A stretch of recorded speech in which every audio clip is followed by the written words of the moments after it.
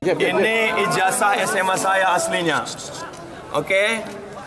Clickers, setelah dinyatakan gagal ikut pilkada, pasangan JR Saragi dan Ance Selian berencana melayangkan gugatan ke Mahkamah Agung.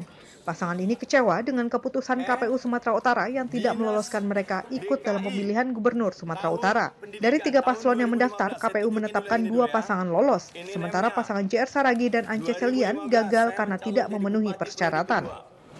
Tutup SMA saya. Saya leges ke Dinas Pendidikan DKI.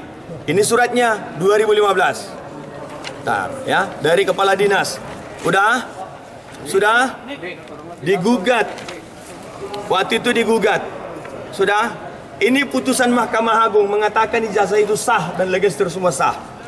Dari Medan, Sumatera Utara, Reportase TV, jendela informasi tercepat. Ya, sebentar. Nah, saya kasih tunjuk semua.